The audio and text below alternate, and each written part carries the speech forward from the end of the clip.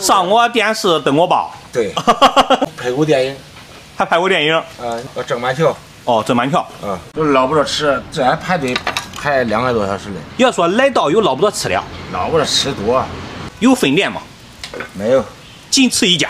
对，兄弟们，今天来到了河南濮阳范县，在高码头一个村子里，有一个古老的美食。我敢这样讲，你们肯定没有吃过这种古老的美食，我也是第一次发现哈。今天我们去品尝一下哈，祖传老三肉旋子，咱看一下这个肉旋子是如何做的。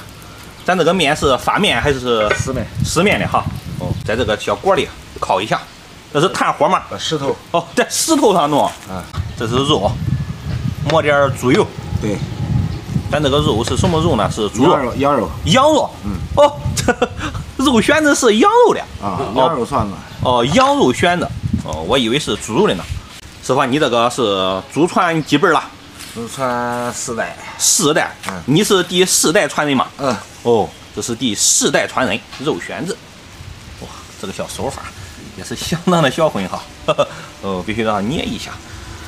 和这个师傅，这个肉旋子和咱这个肉饼不一样，不一样。嗯，这是做法也不一样啊。对，哇塞，这个小环境啊，兄弟们看一下有没有感觉？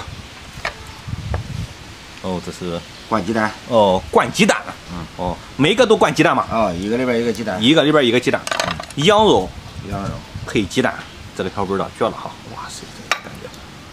哇，师傅，你这个小锅也是你自己做的吗？这个盆儿是以前的土盆儿，这个是土盆儿啊，有多少年的历史了？这个土盆儿啊，啊，有得二三十年了，二三十年的历史了。就是涮一下锅，嗯，它这个是先在这个平底锅中先烙烙定型，然后在那里边烤，一个烤制过程。兄弟们看一下哈，这个小锅它是烧的这种大树哈，这种劈柴有没有感觉？站在这个小锅里得烤多少会儿？嗯，烤。两三分钟吧，两三分钟啊！好，兄弟们哈，这个肉旋子，它是一个地方性的名吃，可以这样讲。也就是说，只有在这个它这个地方，你能吃到哈正宗的这个肉旋子啊，这小感觉特别有感觉哈，真香啊！烤的，这边是烧水的，这边是烙饼的，这边是烤饼的，哇，一锅三用的是哈。师傅，你做这个做了有多少年了呢？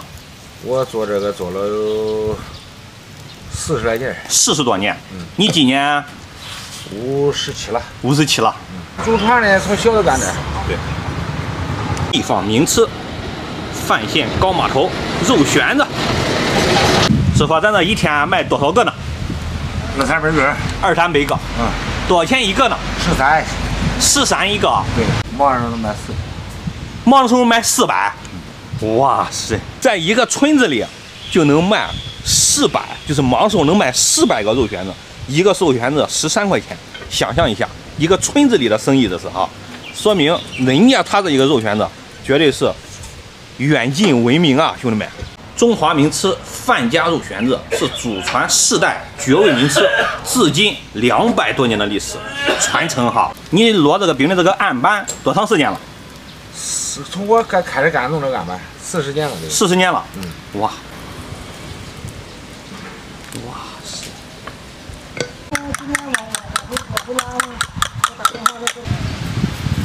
基本上不懂的都说是馅饼。对。哇。切开这么一个小口，然后灌上公鸡蛋。哈哈哈哈哈。它是两面金黄。